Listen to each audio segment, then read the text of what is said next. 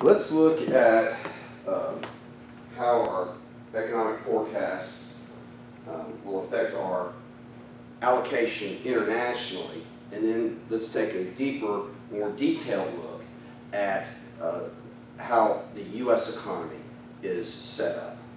So let's look at economic forecasting and global asset allocation. How do we spread our money into different countries? We've already done a little bit of talking about this. But let's talk first a little bit about correlation. There is some correlation between the economies of various countries. Okay? Typically, the hemispheres will move together. America, Mexico, and um, Canada tend to move together. Latin America tends to move uh, through its own cycles. Asia tends to move uh, through its own cycles, very low correlation between the northern hemisphere and um, Asia, and um, there's some closer correlation between the northern hemisphere and the Eurozone, okay? So there is some correlations, and the correlations are, are different around the world, okay? But there are significant differences in government policies, really in economic systems, and then with government policies, and in the timing and in the magnitude of the business cycle in various countries. Every country experiences their own unique business cycle, but there is some integration of the world economy, so what's going on in America will affect the Eurozone, and what's going on in the Eurozone will affect uh, uh, Asia, so there is some correlation. So it is worthwhile to analyze the economies of countries to determine how attractive they are in terms of investments. When should we be overweight? When should we be underweight? For example, if a country is going into a recession, it's probably a good candidate for bond investors, okay, going into a recession. This is because interest rates will likely be at a high level and these rates will probably begin to decline in the near future as the central bankers know that they've done their job in slowing the economy down and now they will start to ease money on the money supply. They'll start to put more money in and interest rates will start to come down and bond prices will go up. Similarly, countries that are coming out of a recession are probably good candidates for stock investors. This is because profits and dividends will be picking up. As countries are coming out of recession, you have an economic uh, recovery and profits uh, will begin picking up, as will dividends. Well, and dividends are farther down the road probably in the um, overheating phase where dividends really start to pick up. Uh, and the required rate of return starts to drop. So how do the major uh, components of the valuation equation, cash flows and discount rate, in which direction are they moving?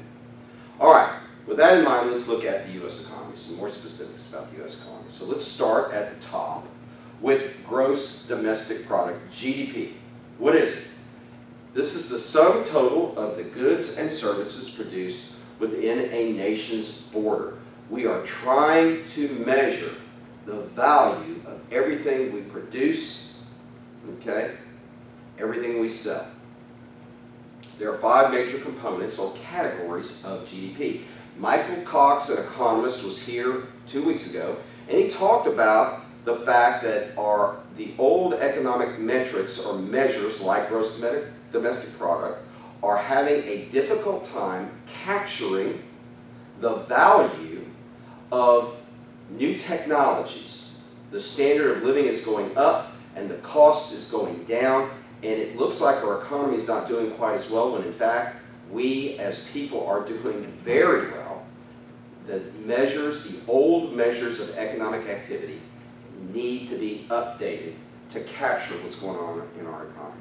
All right, so let's look at the five major components of GDP. The first is consumption, then we have investment, government spending, exports, and imports. Okay? C, consumption, plus I, plus G, plus E minus I. You learned that in macroeconomics. All right, so let's take a look at consumption. Well, consumption is roughly 67% of U.S. GDP. It's much lower in other economies after World War II. The US government decided that they really wanted to turn the US economy into a consumption-driven economy, and guess what's happening in China now? The very same thing. Okay? It is, this is what households and consumers spend money on, consumption, what we buy to live. It has three major components. First, durable goods, like cars and appliances. We spend money on things that last for multiple periods of time. Then, non-durable things, like food and drugs, services like healthcare, accounting and law, and financial assistance, here we go, hire Dr. E. Also things like restaurants, okay, non-durables and services. Okay, so we've got durable goods, non-durable goods, and services. These are the three major components of consumption. Notice that housing is not in there. We'll, we'll take a look at housing in just a second. All right. Durable spending is sensitive to interest rates. Interest rates affect the cost of durable goods, uh, principally cars, okay? And uh, interest rates affect consumer sentiment, and interest rates affect income. And so durable spending will go up during an expansion, and durable spending will really go down hard during a recession. Okay, so understanding what affects durable spending and understanding the patterns and what they're related to helps you understand when to be in those stocks and when not to be in those stocks. So you buy the stocks of durables at the beginning of economic recoveries. You sell durables when it looks like the economy is beginning to falter. Okay, so if you want to be active in your portfolio, these are the things that you do. All right, the level of spending on non-durables does not respond to changes in interest rates. Interest rates do not affect what you spend on food and healthcare. Okay? However, consumers often move to lower price points when economic times are tough. So when times are good, you want to own the Nordstroms. When times are bad, you want to own the Dollar General and Family Dollars and Walmarts. Okay? Staples, which are non-durable items, outperform in recessions, the stocks of non-durables, and underperform in expansions. We've talked about that before. All right, now we have investments. So we've looked at consumption, 67% of our economy, consumption. Now let's look at investment. Investment consists of money that is spent by business on plant, equipment, and inventory.